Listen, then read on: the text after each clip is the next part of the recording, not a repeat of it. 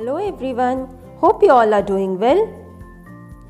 In this video, we will learn the second topic of class 7th science that is nutrition in animals.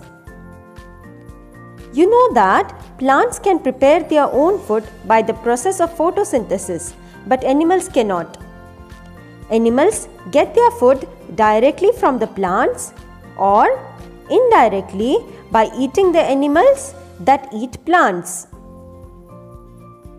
Also, some organisms eat both plants as well as animals. All living organisms require food for their growth, repair, and functioning of the body. Animal nutrition includes nutrient requirement, mode of intake of food, and utilization in the body. Food consists of many components. They are carbohydrates, proteins, fats, vitamins, minerals, and water.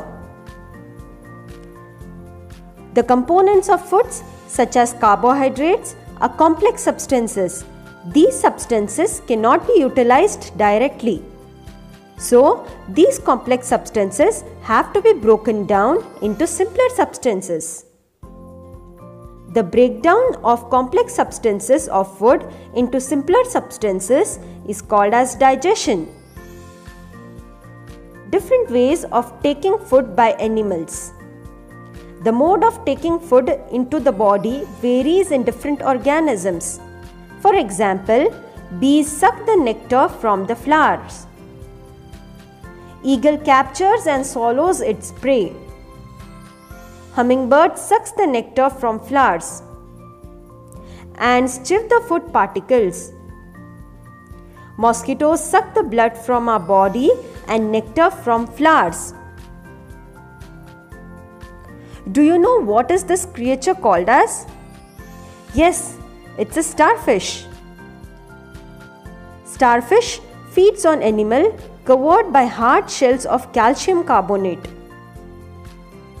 Starfish has its mouth at the center. It pops out its stomach through its mouth to eat the animal inside the shell. The stomach then goes back into the body and the food is slowly digested. Digestion in humans. We take in food through the mouth, digest it, and then utilize it. Have you ever wondered what happens to the food inside our body? The food passes through a continuous canal that is divided into various components. Starting with buccal cavity, esophagus, stomach, small intestine, large intestine and anus. The buccal cavity, esophagus, stomach, small intestine, large intestine and anus together form the alimentary canal or digestive tract. There are various glands associated with the digestive tract. They are salivary glands, liver and pancreas. The digestive tract and the associated glands together constitute the digestive system.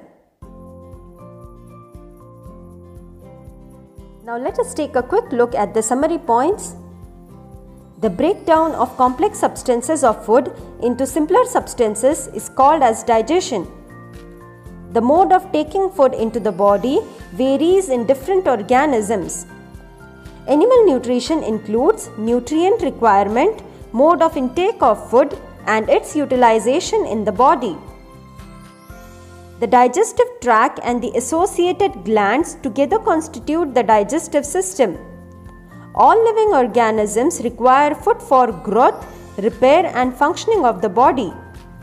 The buccal cavity, esophagus, stomach, small intestine, large intestine and anus together form the alimentary canal or digestive tract. Thank you. Keep watching. Please like, subscribe and press the bell icon to get notifications of the upcoming videos.